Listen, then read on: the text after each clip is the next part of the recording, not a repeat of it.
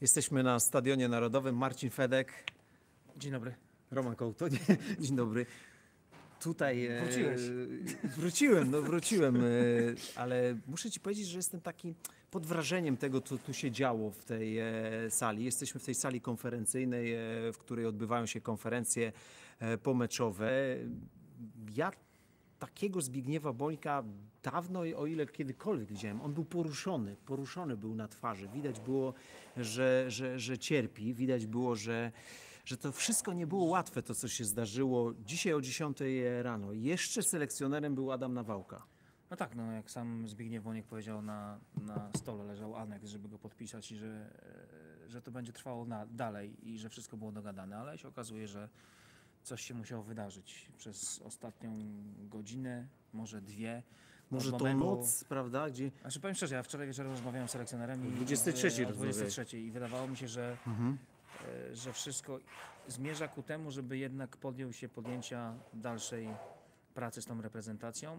E, Powiedział wyraźnie, to, by było, to musi być nowe rozdanie, nowe warunki, Bliżej mikrofonu. nowi, nowe, nowi ludzie.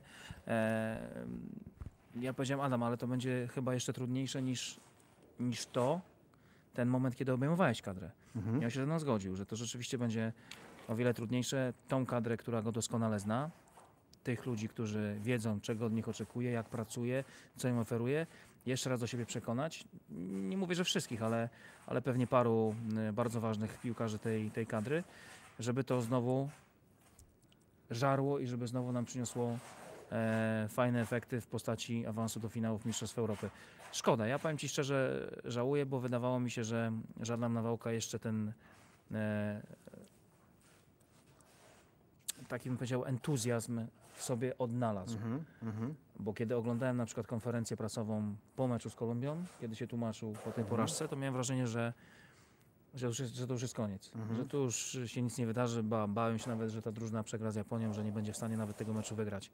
Okazało się, że wygrała. Owszem, te 15 minut na pewno e, jak najszybciej trzeba wyrzucić e, z pamięci my wszyscy. To ostatnie tak. 15 minut. To, co się wydarzyło, to, to było to jakieś, jakaś kompilacja, kompilacja wszystkiego, co się, co się mogło najgorszego tej reprezentacji wydarzyć. Ale dzisiaj liczyłem, że, że jednak selekcjoner powie, dobra, zostaje, bo, bo część tej kadry e, na pewno ze mną chce grać, część tej kadry szerokiej przejrzałem, więc jakiś Mhm. pomysł na, na, nowy, na nową drużynę był, ale okazało się, że coś się musiało wydarzyć przez ostatnią, myślę, godzinę dzielącą nas Ja myślę, pomiędzy tak, e, spotkaniem ta, u prezesa, a tym, co Słuchaj, ta, w ogóle to wydarzyło się na spotkanie konferencji. e, u prezesa o 10 rano z tym aneksem. Ja myślę, że to była taka face to face e, rozmowa dwóch dorosłych mężczyzn, którzy bardzo się szanują, bardzo się respektują, bardzo dużo ze sobą przeszli jako piłkarze i teraz już e, jako prezes i selekcjoner, prawda? To był niezwykły czas e, reprezentacji polskiej. Oni chcieli to podkreślić z tego podium. Zbigniew Boniek w szczególności, Adam Nawałka, no nie chciał się chwalić, ale to był wielki jego czas. Ja mówię w tym top e, ten selekcjonerów, dla mnie Nawałka jest zaraz za, za Górskim, za Piechniczkiem i za Gmochem, bo był na dwóch turniejach, był w ćwierćfinale Euro.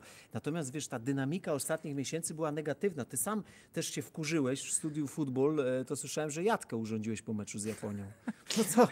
No przyznaj się, autor dekalogu Nawałki e, dostał białej gorączki na e, antenie. Jeżeli chodzi o Jatkę, to ja ci przypomnę, że my prawie sobie skoczyliśmy do ryja. Kiedy? Jak nie chciałem ci dać składu przed meczem z Ukrainą na Eee, Euro Tak, 2016. no właśnie, bo- ale bo i tak wydobyłem ten skład, wydobyłem Dobrze, ten ale, ale, skład. było, ale było na noże. Ale było na noże. nie, bo e, e, prawda była taka, że ja nie mogłem tego składu. e, A znałeś ten e, skład, a on był ale bardzo nie, dziwnym składem, Tak, więc- ale powiedziałeś wtedy do mnie albo grasz z nami, albo grasz z Nawałką. E, Ty grasz tak między Polsatem Sport, a nie, na- Słuchaj, na Wałko, ale- znałeś, znałeś tą relację, wiedziałeś, że pewne sprawy mogę ujawnić po meczu, wiedziałeś, że dobrze swoją robotę wykonam, jeżeli będę analizował to, co się działo na Murawie i, i, i to był też plus, myślę, tych naszych programów, że mieliśmy w pewnym sensie większy ogląd tej reprezentacji niż, y, niż inni. Ja się dużo przy Nawałce nauczyłem i za to Mhm. zawsze będę mu wdzięczny, bo nauczyłem się przede wszystkim, jak postrzegać e, poszczególnych piłkarzy, co jest ważne, czy ktoś to coś ma, żeby w tej kadrze zaistniał, bo, bo rzeczywiście no, są, są zawodnicy, którzy e, jednak do dzisiaj w kadrze nie zdają egzaminu, a, a czasami zastanawiamy się dlaczego. Dużo, dużo rzeczy e, przy nawałce zrozumiałem i, i też nauczyłem się patrzeć na poszczególnych zawodników w zupełnie innym e, świetle, w zupełnie innym świetle oceniać ich przydatność dla kadry, bo to było najważniejsze, bo jednak kadra to jest taka drużyna dość specyficzna, która, która potrzebuje piłkarzy, którzy tej kadrze coś dadzą. To jest najważniejszy zespół, Nawałka taki zespół zbudował i, i za to powinniśmy być wdzięczni, bo możemy sobie dzisiaj mówić o tym, że odchodzi, ale, ale jednak tak jak mówił prezes Boniek, kiedy przychodził, nikt w niego nie wierzył. Mhm. Odchodzi jest trenerem wielkim, umówmy się, no bo jednak wielki. W historii polskie warunki, jest wielki, e, absolutnie. dwa, dwa awanse, fantastyczny turniej Tylko na Mistrzostwach Piechniczek Europy. miał dwa awanse. I myślę, że gdyby tam był sukces, gdybyśmy tam doszli do półfinału, to kto wie, co by się wydarzyło dalej, bo wiesz doskonale, że oni byli na to gotowi i byli, byli mocno rozczarowani po meczu, po meczu z Portugalią, bo wiedzieli, że to Natomiast był ten moment, ten co? czas. A teraz mam wrażenie, że ten czas Natomiast nie był tak, dynamika tych ostatnich miesięcy, ona jest negatywna dla Nawałki. To musisz się z tym zgodzić, bo to jest tak, e, gdzieś jest w chaosie taktycznym, e, forsuje piłkarzy, którzy nie grają w klubach.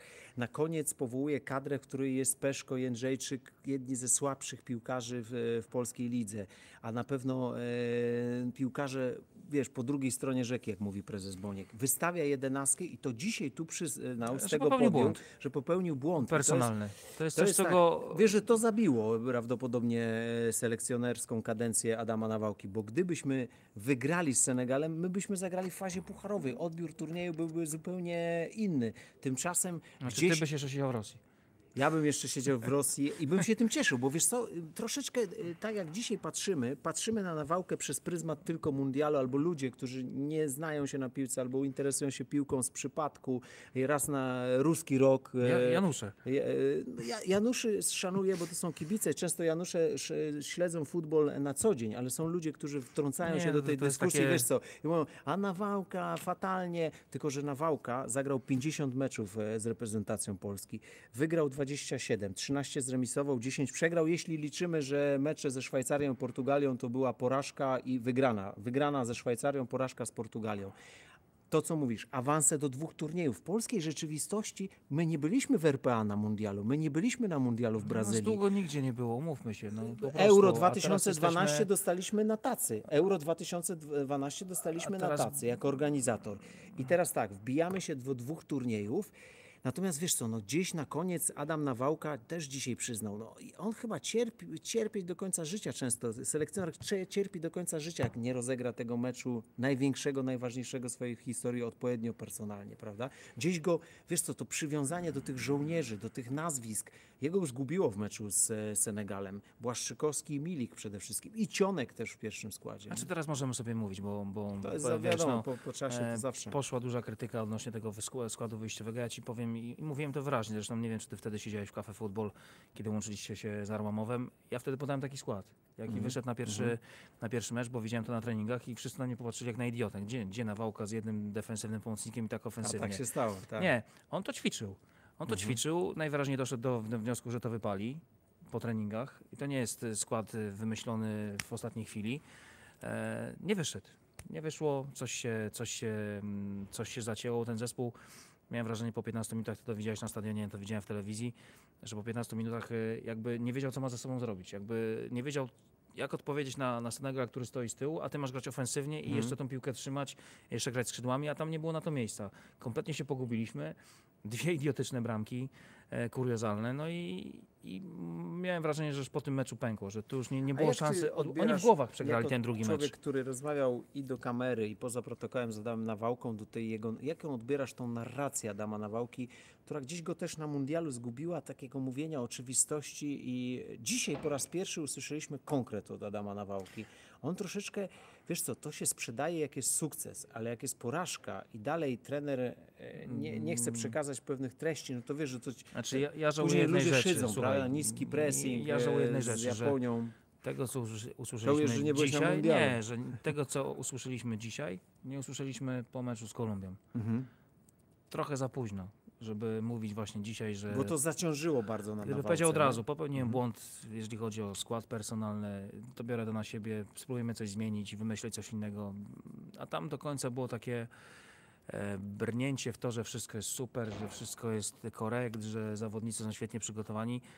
Dzisiaj między słowami mówi, że e, zawodnicy wyglądali podobnie fizycznie jak dwa lata temu. No dobrze, ale dwa lata temu wszyscy byli w formie. i wszyscy grali oprócz Błaszczykowskiego. Teraz musiałeś cały połowę kręgosłupu podnieść do góry. Krychowiaka, Grosickiego, który miał problemy, Glika ci, ci brakuje, Błaszczykowski, który w ogóle nie gra w piłkę 7 miesięcy, wtedy nie grał tylko incydentalnie, bo jednak e, coś tam grywał w tej Fiorentinie, wystarczyło go podnieść i było ok. Tu się okazało, że pół drużyny, tej najważniejszej pół drużyny masz przestrzelonej. No i, i w zderzeniu z Mundialem, gdzie wszyscy są przygotowani na maksa, niestety e, ta koncepcja poległa i tyle. No, ja mówiłem przed Mundialem, zresztą e, w, pa, w paru miejscach, że jeżeli nie wygramy pierwszego meczu, to nie wyjdziemy z grupy. Nikt mi nie wierzył. No, Czarek Kowalski może ci potwierdzić, bo powiedziałem to publicznie, że jeżeli pierwszego pierwszego meczu, to nie wyjdziemy no, z ale to grupy. wiesz, no, jak nie wygrasz pierwszego meczu, to tylko Kolumbia, Ale no, te, właśnie dlatego, że, ale wiesz, dlatego, dlatego że pierwszy mecz, pierwszy mecz grałeś e, z bardzo silną fizycznie drużyną. e, z Kolumbią, Jesteś rozbity, która jest najlepsza piłkarsko. Która jest najlepsza piłkarsko i Mhm. nie udźwignęliśmy tego meczu.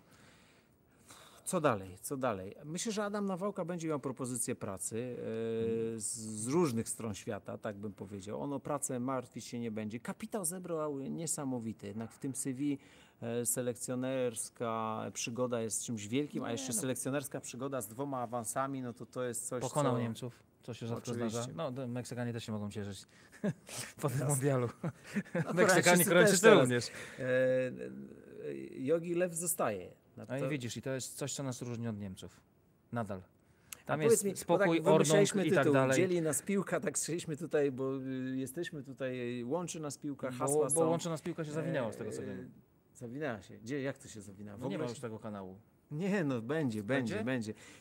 Bardzo trudno jest e, jakby po sukcesach robić materiały po porażkach. My dziennikarze no, to znamy, no, bo no, my dziennikarze jesteśmy zmuszeni do pracy i po sukcesie, i po porażce, prawda? Niestety, I też niestety wiesz musimy co, od, od pewnego czasu po Mistrzostwach Świata zawsze jesteśmy po porażce, wiesz. Po Mistrzostwach Świata jesteśmy zawsze po porażce. Słuchaj, ja swoją pierwszą książkę napisałem po przegranym mundialu w Korei, bo było 40 dziennikarzy i nikt nie się... Wszyscy pisali przed różne rzeczy, e, byli królami mediów, natomiast po porażce zmierzyć się z porażką jest, jest e, trudno, tak? Bo trzeba gdzieś się zastanowić też, ta analiza tej porażki, ona będzie wracała, bo zobacz, kto nie zabiera głosu dzisiaj publicznie? Piłkarze tak naprawdę. Dziś było coś Rybus powiedział, coś Pazdan powiedział, coś Lewy powiedział, ale Glik też... coś powiedział. No, ale to nie ma takiego wywiadu. Glik Ale wiesz, moim zdaniem czekali. Czekali na to, co się dzisiaj wydarzy.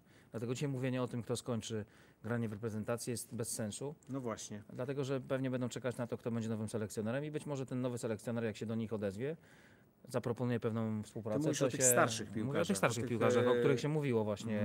Piszczek, Błaszczykowski, e, nie wiem, być może Fabiański. Nikomu bym nie odbierał, e, że tak powiem, prawa do tego, żeby zrezygnował sobie sam. No, E, Natomiast co? uważam, że dopóki nie Oczywiście, poznamy nowego oczywiście, selekcjonera, to, to się nie dowiemy, który z tych piłkarzy będzie chciał w tym projekcie Prawda jest uczestniczyć. taka, że będzie może nawet rewolucja. Jakby miał taką jedenastkę rewolucji ci powiedzieć, to taką... Nie, no poczekaj z tymi jednostkami rewolucji nam. Ale wiesz co? Jedną rzecz, na pewno kapitanem zostanie Lewandowski. Nie wierzę, że nie będzie. On już sam to publicznie Znaczy, w zadeklarował. ogóle ta, ta burza, żeby zabrać mu dla Kapitanem będzie, będzie lewy. Następna sprawa. Grosik dalej będzie chciał i może grać w kadrze. Być może nowy selekcjoner to też Jak będzie Grosik, to- jak będzie do- Grosik, to do- może Glika do, przekona. do Fabiańskiego. Jak będzie Grosik, to może Glika przekona. No brawo, Glik by się przydał, żeby Bednarek nie, musi być, musi dojrzewał. być, musi być. Bo to było się, świetne. Masz, świetny, Ale masz zobacz, ostatni mecz, ale musi być Glik tej Wiesz jakie bo, boki od Musi razu być widzę? Glik, Musi być. Glik. Bardzo No. dobrze. Ja jestem za Glikiem. No, brawo. Przecież wiesz, A ja wiesz jak, tutaj taki- jak lubię Glika i, i to jest charyzma, osobowość, wiek. Niech on jeszcze pojedzie sobie na Euro czy na Mundial e, do Kataru. 34 lata będzie miał, jak będzie Mundial w Katarze. No nie, to co to nie jest? będzie za gorąco? Znowu? Nie, no to. Słuchaj, on i tak, wiesz co, wszyscy mówili, e, że e, w ogóle nie ma prawa jechać, mówiono, prawda, że kontuzja No i tak nie, dalej. no, On no, pojechał jest- i on w drugim meczu turnieju już zagrał. Podobno był on zły na, za nawałkę, że w ogóle wszedł jako zmiennik, że nie grał wiadomo, że był, składzie. wiadomo, że był zły, bo wiem o tym, że był gotowy od pierwszej minuty i nie wiem, nie wiem do dzisiaj dlaczego e, Adam nie zaryzykował i nie wpuścił go od pierwszej minuty, skoro graliśmy o wszystko. Mhm. Nie wiem, to jest dla mnie dziwna decyzja, ale no, też o tym mówiłem w na- naszych programach. Nie było mnie tam, ty byłeś, nie wiem jak często się widywałeś selekcjonerem, ale Nie, my tam byliśmy, wiesz, to, krążyliśmy po E, Rosji, to w wiem. ogóle Słuchaj, klasa, e, f- kadra e, funkcjonowała w innym wymiarze, tym Soczi, tego takiego, wiesz co, ale to, to prezes też powiedział, że tam było wszystko dobrze. Wiesz co, jeśli chodzi o samo Soczi, ok, ale boisko treningowe to była patelnia, jajecznicę można było smażyć w takiej nietce. Brazylijczycy mieli stadion treningowy przy morzu. To też, wiesz co, te parę kilometrów różnicy między No, to ośrodkiem- wiadomo, jak jesteś kawałek dalej od morza, zawsze jest, wiesz, nie ma wiatru, sucho, pusto. Ale dziękuję, więcej no. ci powiem, kotlina z obu stron e, drzewa, być może Ale takie... dobra, ktoś to wybrał, no był tam... E, No był, no był, no, tylko grudzień ekipa był. była, no dobra. Grudzień był. No właśnie. No, grudzień Dobra, był, tak. mniejsza z tym, to już nie ma sensu gadać o tym, czy, Słuchaj, czy, to, e, czy była dobra baza, czy nie. Nie, nie ma trenera.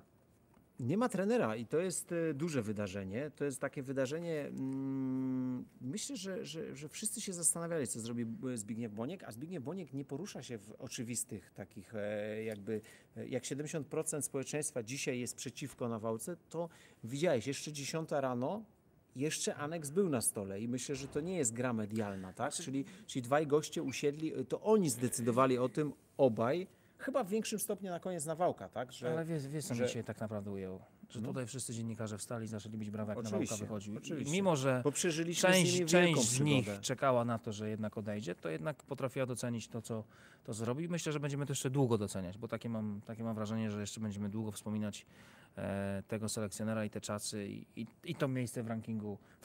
Trochę sztuczne, bo to jest dla mnie sztuczny wymysł i o niczym nie świadczy. O Ale czym turnieje już nie są sztuczne. Turnieje Nie, nie, nie, prawdą, ale mundial, znaliśmy turnieje. m, no, mundial nas zweryfikował, jak powiedział selekcjoner. Powiedział, zobaczysz, będzie fajnie do momentu, kiedy nas boisko zweryfikuje. Zweryfikowało. Jak zweryfikowało raz, no to już y, nie mamy selekcjonera, więc co ci powiedzieć? Mi jest przykro e, i tyle. Dobrze, a jak tak jeszcze wrócę do tej jedenastki, e, uparłem się. Zobacz, e, Kędziora albo Gumny, Bereszyński z lewej strony, Linety i e, Góralski e, w środku pola na przykład, na jednym skrzydle Frankowski, a Żurkowski, mój ulubiony piłkarz jeszcze, e, Grosicki zostaje, lewy wiadomo, że kapitan, ale można go sobie wyobrazić z Kownackim, z Milikiem, z Piątkiem. No nie jest tak, że polska piłka umiera, tak? I też Adam Nawałka to dzisiaj powiedział, że on widzi perspektywę. Bo widział. Widział perspektywę. On jeszcze wczoraj pewnie rozważał właśnie, jak co zmienić. Bardzo e, jasno widział moim zdaniem w końcu po tym przyjeździe z mundialu. Odmłodzenie. A tak, Odmłodzenie. A twoje CV nie leży u Bońka Nie, od dziesiątej? nie, nie, nie. Poznali państwo nowego selekcjonera. Nie, nie. Ja Długo, długo czekałeś na tą chwilę. Ja, ja się bawię e, zawsze w personalia, bo e, myślę, że dyskusja o futbolu to jest w Polsce jest dużo hejterstwa, negacji, zamiast rozmawiać właśnie o personaliach, o taktyce, o takich rzeczach. My dziennikarze właśnie staramy się, właśnie dziennikarze Polsatu Sport, w szczególności kanał e, Prawda Futbolu, ale też Cafe Futbol, no staramy się pokazać ludziom ten smak futbolu przez personalia i taktykę, tak? Na koniec no, Zbigniew Boniek wie, że dzisiaj można powiedzieć tak, że Brosz nie da rady, że Brzęczek nie da rady i Probierz nie da rady. A ja nie wiem, a ja nie wiem. Jak No, Zbigniew a na Wałce Boniek... też mówili, że nie da Jed... rady. Właśnie, a Nawałka, jedną rzecz. Popatrzyłem w statystykę 80 piłkarzy, których wystawił Adam Nawałka. Wiesz, że w tej dziesiątce piłkarzy, którzy zagrali najwięcej meczów u Nawałki jest Pazdan i Mączyński. Czyli tak, Boniek wierzy w Nawałkę, Nawałka wierzy w Mączyńskiego i Pazdana i oni są w stanie w, wspólnie z innymi chłopakami wygrać eliminację Euro i Mundialu. Czyli wiara w człowieka też jest niesamowicie ważna. Jakby Boniek dzisiaj wybrał polskiego trenera, zaufał mu, to kto wie, jaka, jaka będzie historia. Oczywiście, dzisiaj jest też presja awansów, tak? Dzisiaj za chwilę Nie no, zapomni to się o wiesz, nieudanym przez- mundialu i powie tak, Anna Wałka wygrywał eliminację, więc od razu jest, jesteś pod presją, Z tak? jednej strony ten, kto przyjdzie, będzie miał łatwiej, bo jednak bierze reprezentację, która jest bardzo wysoko w rankingu i to o czym świadczy, tak? Mimo, Mhm. że się, ja się z tym, z tym rankingiem kompletnie nie zgadzam, nie przywiązuję do niego wagi, ale on jest ważny. Jakby nie patrzeć, to przyjmujesz reprezentację, która jest, nie wiem, w pierwszej dziesiątce, nie wiem, w którym teraz, na którym miejscu jesteśmy, czy spadliśmy poza dziesiątkę, czy nie. No spadniemy pewnie, no, No, to, to 12, jednak, 15 masz jednak miejsce, e, drużynę, która w ostatnim czasie rzeczywiście była bardzo wysoko i to jest prestiż. Masz już markę, do dwóch imprez awansowałeś, masz zbudowany zespół, trochę go przewietrzyć, trochę go odmłodzić, trochę go e, może przestawić na, na, inny, na inny system. Nie wiem. No E, kurczę, a wiesz kogo nie wymieniłem? Krychowiaka, świadomie, bo on musi grać, on musi grać, tak? Musi grać. a gdzie? W tej jedenastce na jesień Ale gdzie będzie grał? Nie wiem właśnie, gdzie No, moim zdaniem nigdzie nie będzie grał. Nie, nie, no poczekaj, no Paryż nie może trzymać pod kontraktem 4,5 miliona euro piłkarza i co, ale i co, na co nie może? Ale ktoś, No kto nie. go weźmie, musi mu zapłacić kupę siana za tą jego No tygodniówkę. No on- znajdź mi taki... Ale znajdź poczekaj, mi- on ma jeszcze znajdź dwa lata kontraktu Ale znajdź mi przeciętny klub, No, to West Brom się znalazło, nie no wiem znalazło skąd. się, I dało, się. no dało mu takie potrzebę. pieniądze, że miał największy kontrakt w całym West Bromwich, dlatego też nie chcieli e, zbytnio z nim grać. Słuchaj, nie wiem, czy wiesz. Być, może musi pójść na kompromis też sam Nie, Krychowiak musi, finansowy. musi trochę oddać. Zejść. Musi grać. Musi grać, bo na dłuższą metę piłkarz niegrający to jest piłkarz cierpiący, a piłkarz cierpiący cierpi reprezentacja. Nie no, Grzesiek, Grzesiek ma poczucie humoru, musi oddać... Ty sam powiedziałeś, Grzesiek ma poczucie humoru, musi pół lisa oddać. No. pół lisa musi oddać. Musi chodzić dobrze. z jednym ogonem, a nie z dwoma. No. Krycha, Krycha też może być przez lata jeszcze reprezentantem Ale musi Polski, grać, tak? tylko musi się wyrwać grać, tego PSG. Musi grać, no wiadomo, że musi grać. Można powiedzieć, że Nawałko go tam wrzucił. Do Paryża? Przez No Euro? nie, no przez euro, przez dobrą grę w reprezentacji, dobrą grę w Sewilli, no ale teraz musi stamtąd uciekać i to tak Ty już e, uczysz się paralele italiano, żeby... z Nie, ale po co mamy, nie, mamy, mamy lepiej, ja w końcu odsapnę sobie, ja w końcu usiądę obok ciebie i będę sobie dyskutował na A spokojnie. że Marcin Lepa będzie teraz, e, rozumiem, tak? Znaczy jak będzie trener z Włoch, no to to jest chyba naturalne, że pójdzie Lepa i będzie z nim. Zresztą zawsze takiemu trenerowi będzie łatwiej rozmawiać z kimś, kto da- zna, włoski, niż dukać ze mną po angielsku, to jest bez sensu. Jasne, jasne. Zawsze będzie bliższy kontakt z chłopakiem, co zna Notabene włoski niż ze mną. trener włoski, A po tak, drugie, ja bym też chciał usiąść przygotowanie... już w końcu w studiu, już w nie, studiu, nie, nie nie, nie być żadnym, Ale z żadnych tajemnic. rozmawiać, Żadnych, a nie, nie, no dobra, już mi się przejadło. Przejadło ci się? Eee, coś pękło. Nie. Słuchaj, a powiedz mi jedną rzecz. E, jeśli chodzi o trenera z Włoch, charakter, warsztat, językowo miałby dostęp od razu do 8-10 piłkarzy, bo my mamy kilkunastu już piłkarzy we No. Włoszech. No. Czyli, czyli to jest jakaś. Dobrze poza tym nie miałby problemu komunikacyjnego z prezesem Bońkiem, tak? To też e, jest chyba Nie, ważne. myślę, że to był najbliższy kierunek prezesowi, ale no, no, dzisiaj możemy spekulować. Tak. Zostawmy dzisiaj do, z dzisiaj to- serca Zbigniewa Bońka będzie to dzisiaj decyzja. nawałkę i, i, i to jest chyba taki moment, e, który gdzieś tam za jakiś czas będziemy wspominać. Fajnie się pożegnał, pożegnał się z klasą. Widzieliśmy to e, po jego wypowiedziach. Dzisiaj był chyba bardziej szczery niż, niż zwykle. E, a tak tylko zapewniam wszystkich, że rzeczywiście Adam Nawałka poza kamerą jest normalnym facetem i normalnie się z nim rozmawia. nie tak jak potrafi nie tak. Tu, tu żartować, przyjmuje, tak, tu przyjmuje maskę, ma swoje, tak. ma swoje e, komunikaty do przekazania i te komunikaty zawsze przekazuje, przekazywał. Ale tak jak zacząłeś, to rzeczywiście Zbigniew Boniek jest druzgotany. Ja go dawno nie widziałem takiego, żeby siedział w ogóle i prawie ze łzami w oczach, bo coś e, się skończyło, a mam wrażenie, że do samego końca aż się te drzwi otworzyły. Czekał, że jednak Adam podejmie e, wyzwanie i, i nie rzuci rękawic, a rzucił. Mhm. Mhm. Czy, czy myślisz, że to w głowie jednak e, i w sercu nawałki o, ta decyzja ostateczna? Myślę, myślę, myślę, że e, tak. Zbigniew Boniek jest tak no, poruszony, tak? bo dziś się rozważał, że akurat Zbigniew Boniek potrafi dawać szansę selekcjonerowi, bo dał szansę Engelowi, dał szansę Nawałce i był cierpliwy też przez kilka miesięcy, gdy nie wygrywaliśmy za Engela czy, czy za, czy za Fornalika. na, na, Nawałkę. I Fornalika też był cierpliwy. No i gdyby wygrał tę eliminację, to kto wie, A nie by był było. to jego No, wybór, więc a nie był to jego wybór. Dobrze, kończymy. 23 minuta. W takim nastroju, że ja jeszcze raz w top ten Adam Nawałka na czwartym Nie, no miejscu. weź się, weź się rozejrzyj. Ile się zmieniło za nawałki? Wszystko się zmieniło.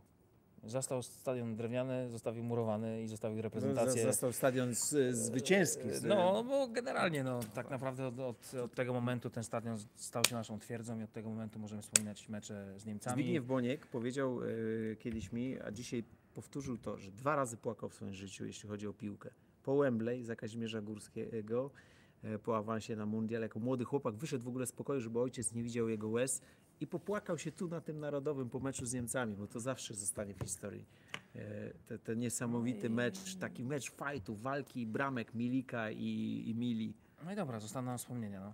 Bardzo dziękujemy. Bardzo proszę. Subskrybujcie kanał, e, zostawcie lajki, jak Wam się to nagranie podobało. Krótko, treściwie, na temat. E, no i, Jesteś ba- bardziej rozwinięty ode mnie pod tym względem. Ale Ty możesz iść w tym kierunku. Ja Cię namawiam, wiesz. E, Teraz będę miał więcej czasu. de, dekalog na wałki. Będziesz miał więcej czasu. Jednak kto wie, czy nie zagości na YouTube e, Marcin Fedek. Bardzo dziękuję. Dzięki. Będzie, będzie czas. Mundialu teraz jest czas, ale będzie też tak, ciekawy bo czas. fajne mecze. Zbigniew